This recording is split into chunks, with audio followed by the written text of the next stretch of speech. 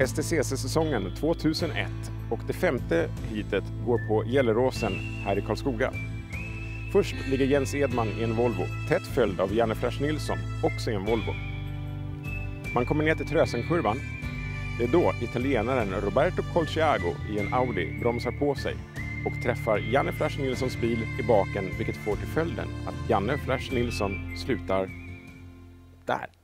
Janne Färst gör en kanonstart och han är uppe alldeles i baken på Jens Edman och så, så försöker han ta sig ut lite grann. Här kommer Jens Edman och så har vi Kalle Rosenblad till höger och eh, så Korsago i mitten och så ner i Trösenkurvan, Murten på insidan och så smäller det och så är det en fruktansvärd smäll när Janne Flash snurrar ett helt varv mitt uppe på asfalten. Här kommer det igen, vad säger du Hasse? Ja, där ser ju inte så snyggt ut. Du ser ut som Carl Schiago bromsar på sig helt enkelt. Han, han bara en simpel påbromsning.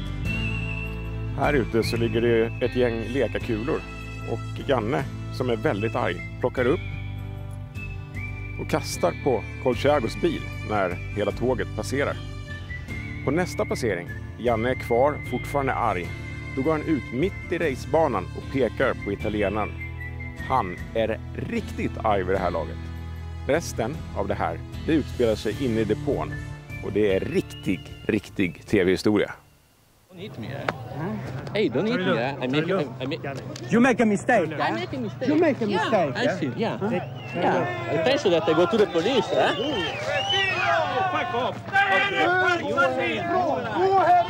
Yes. Gå härifrån. Look for your driver, okay? Det är inte värt Your ass is mine. Det är inte värt det.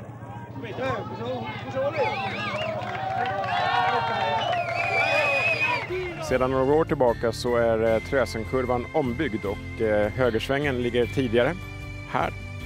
Och den klassiska kurvan där all action utspelade sig det året, den är numera en escape route här bakom.